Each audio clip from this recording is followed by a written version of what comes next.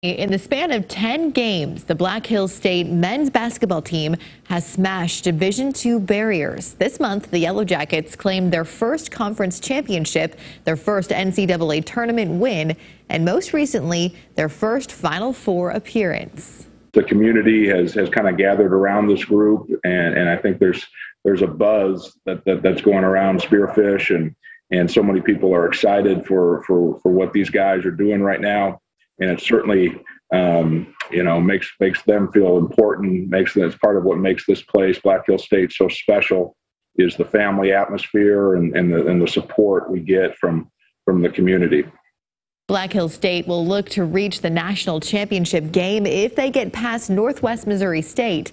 That game is set for tomorrow afternoon. Digital reporter Eric Mayer has a look at the team's postseason run in a KELOLAND.com original online now.